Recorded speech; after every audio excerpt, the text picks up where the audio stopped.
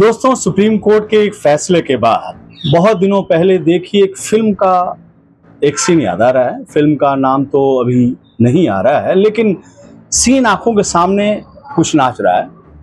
Hero गुंडा की भूमिका में होता है और जेल में दूसरे कैदी हीरो की जमकर कुटाई कर देते हैं उस फ़िल्म में।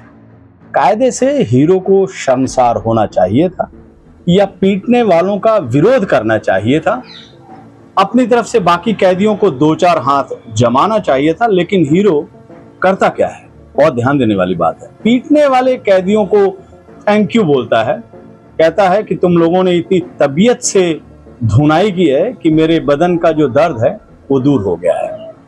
फ़िल्म के इस सीन और संवाद के मर्म को समझने के लिए मान्य सुप्रीम कोर्ट के फैसले पर गौर ज़रूर फरमाइएगा। फैसला बीजेपी राज के कुख्यात बुलडोजर शासन से जुड़ा हुआ है।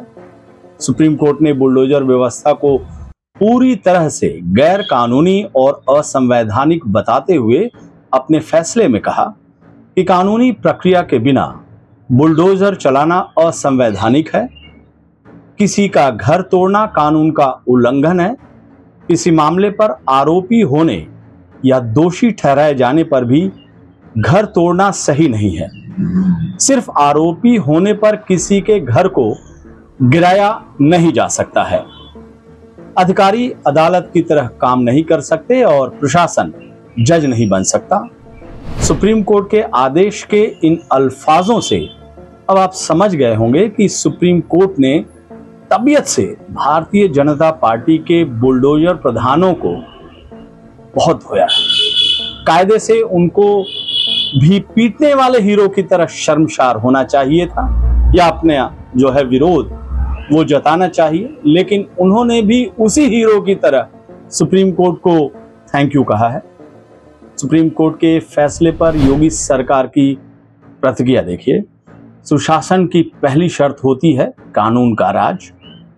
इस दृष्टि से माननीय सर्वोच्च न्यायालय द्वारा दिया गया फैसला स्वागत के योग्य है। इस फैसले से अपराधियों के मन में कानून का भय होगा। कानून के राज वाले अपने देश में बुलडोजर शासन की शुरुआत करने वाली योगी सरकार की इस तरह की प्रतिक्रिया के बाद आप एक बार फिर से सुप्रीम कोर्ट से फैस, सुप्रीम कोर्ट से जो फैसले उसको देखेगा और खुद तय कीजिएगा कि उत्तर प्रदेश की योगी सरकार के मन की असल बात क्या है। यहाँ आपकी जानकारी के लिए एक बात और बता दूँ। योगी सरकार ने यह भी कहा है कि सुप्रीम कोर्ट का फैसला केवल दिल्ली के संदर्भ में दिया गया है। उत्तर प्रदेश का उससे कुछ भी लेना देना नहीं है। जबकि सच्चाई और हकीकत यह है कि सुप्रीम कोर्ट ने फैसला पूरे देश के संदर्भ में दिया है और उत्तर प्रदेश देश के अंदर ही है। नमस्कार।